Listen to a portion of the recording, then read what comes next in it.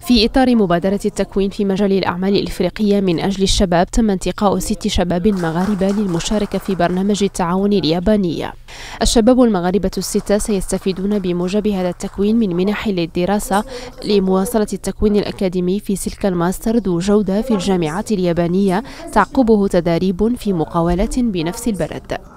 We give this opportunity for uh, لقد أعطينا هذه الفرصة لألف شخص من القارة الإفريقية من 54 دولة. ومن المغرب لقد بعثنا 58 شابا حيث سيدرسون برامج الماستر الذي من المنتظر أن يقوموا بالإسهام في تنمية الاقتصاد المغربي. هذا البرنامج أطلق سنة 2013 من طرف الوزير الأول الياباني آبي لتعزيز وتقوية العلاقات بين إفريقيا واليابان.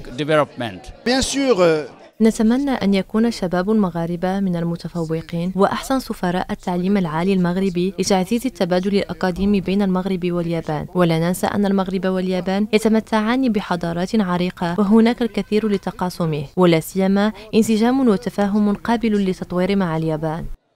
هذا البرنامج الذي أطلقه الوزير الأول الياباني خلال الدورة الخامسة للمؤتمر الدولي لطوكيو حول تنمية إفريقيا المنعقد بيوكوهاما سنة 2013 يهدف إلى دعم الشباب ذوي إمكانيات واعدة في المساهمة في تطوير الصناعات الإفريقية.